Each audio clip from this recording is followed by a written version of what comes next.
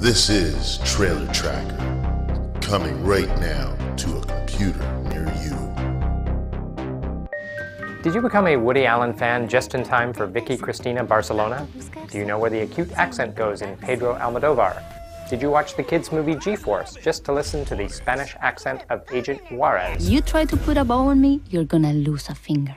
Then you just might be a Penelope Cruz fan.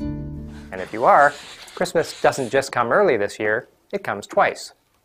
December 18th sees the release of Almodovar's newest film, Broken Embraces, a serious story about passion and betrayal, but not so serious that Ms. Cruz can't throw some sultry looks at the screen now and again. And again, and again, and again.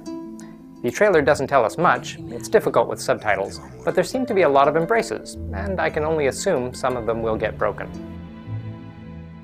One week later, Cruz is back in Nine, based on the Broadway play of the same name, itself based on Federico Fellini's 1963 film Eight and a Half. I'm surprised they didn't raise the stakes and call it 10. Cruz looks, well, fantastic, but she's got a bevy of international competition from Marion Cotillard, Judi Dench, Fergie, Kate Hudson, and Nicole Kidman.